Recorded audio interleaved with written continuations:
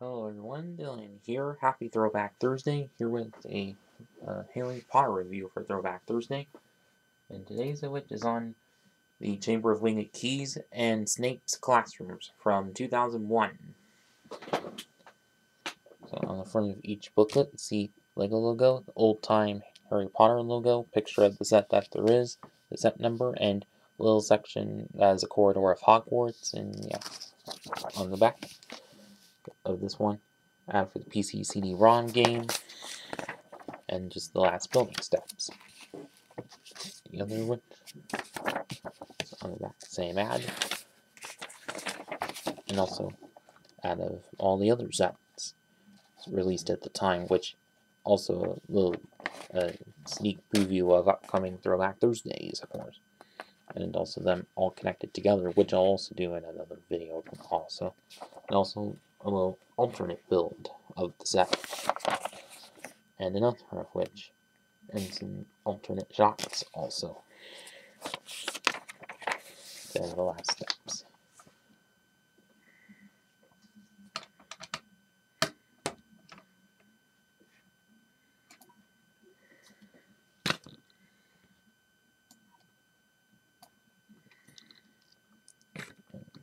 So, first of which is Harry Potter himself, of which same kind that is in several in the several other sets, of course.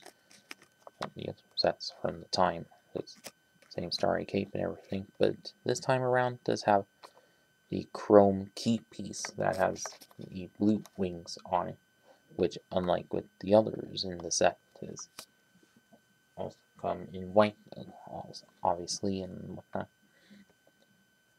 but of course identifying it as the lucky key, of course. And well, in both set, in both of which do include the same version of Ron Weasley, of course. Same torso print and everything as Harry, since of course they're both in Gryffindor, and has a great bar piece for the wand compared to brown that the others have. Piece, which which I think might be new for the time, and no back torso print, no double side face because it's an older figure, of course. And next to which is the early version of Severus Snape, and he I think might be kind of the most advanced for the time, like, and probably the first to use this hair piece that was also used with with Obi-Wan in the Star Wars Episode 2 line in 2002, of course. And besides that, his torso print, leg prints all look good. The face print in which, uh, kind of alright. And what was common of these older Snape's figures is is the headpiece.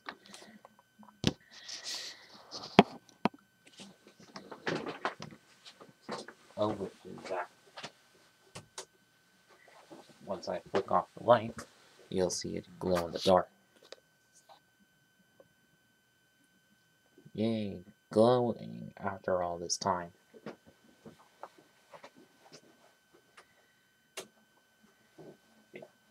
Although, from another point of view, others' point of views, kind of looks like he's about to puke or whatever, but Besides that, no back torso print, nor double side face since it's an older figure, obviously. And lastly, which is Peeves, who was common only in the books, or or one of the ghosts, obviously. But although the uh, torso print does feel kind of like uh, Headless Nick and Moaning Myrtle, in the uh, recent sets, of course, but besides that, I think they, they might still work out in modern sets, obviously, and no back torso print or anything, and yeah.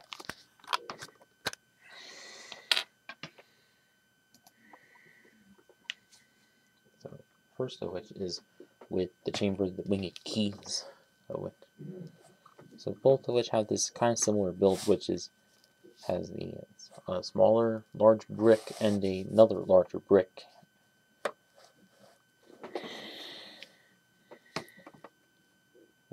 Although this does also kind of the same with the uh, Forbidden Corridor, but just in opposite way. But anyways, as you see with Chamber of Secrets here, it does have, or I mean, Chamber of Winged Keys, duh. As you see, kind of the same. Or, or it's quite vacant and all, but also a dark gray spider web with a trans uh, yellow spider in it.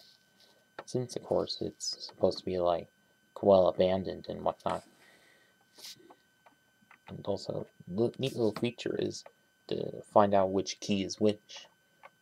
Just push a little section, of course. And, of course, got the winged keys, of course.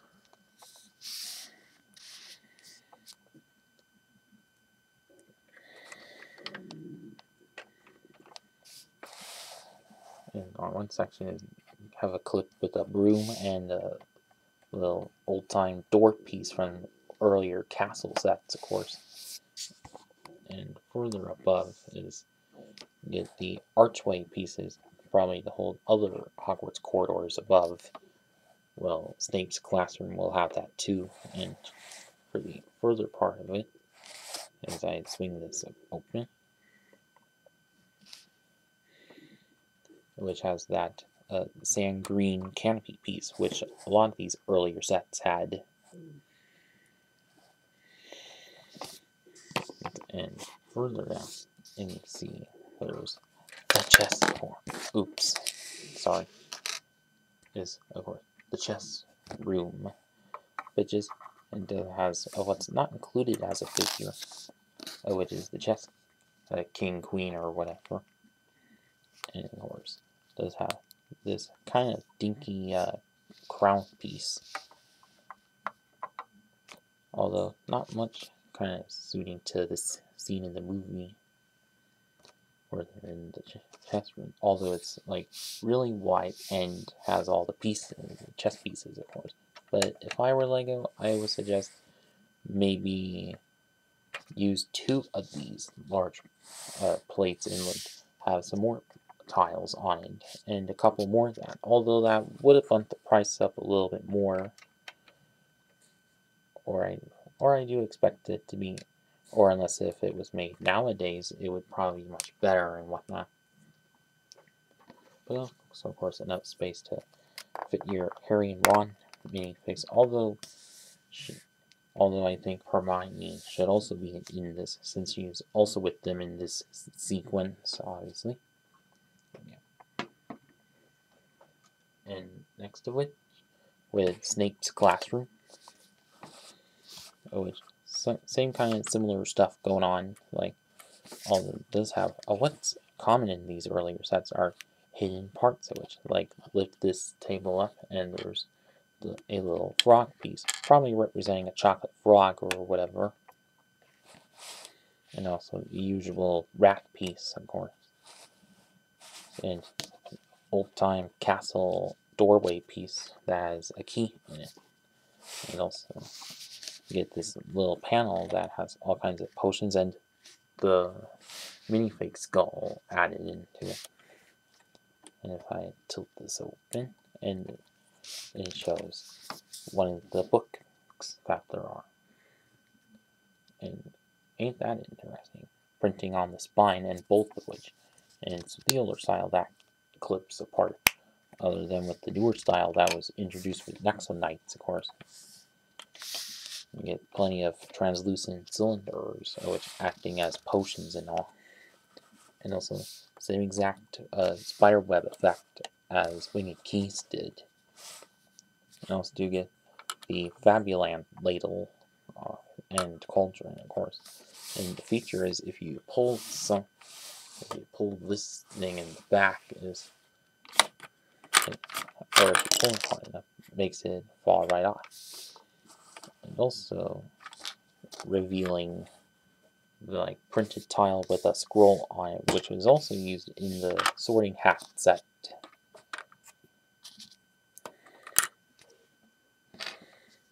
and again enough space to fit all the meat onto it for display purposes, of course. And now, how the sets can come together is, which they do suggest in the back of most of the manuals, is with the jagged slopes above. Is like here's a, a final challenge and fit that right up like so.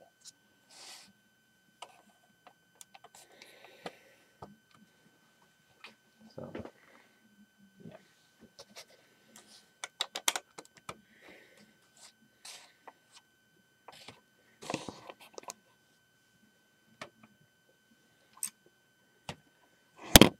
Oops.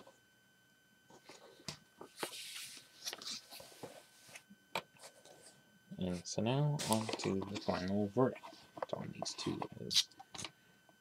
Overall, these I think uh, quite good sets for the time. Like Chamber of Winged Keys is one that we've never seen another version of. Well, neither we've seen new versions of, but although it would be great seeing a new version of that, and also the chess board, of course, since of course they were both a good scene in the movie, of course.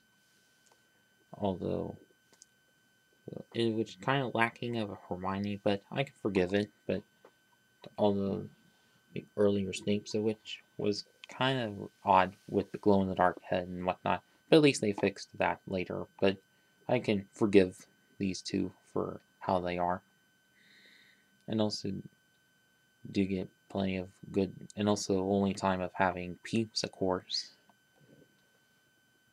And uh, yeah and of course they do work well with the other corridor sets that there are, are obviously.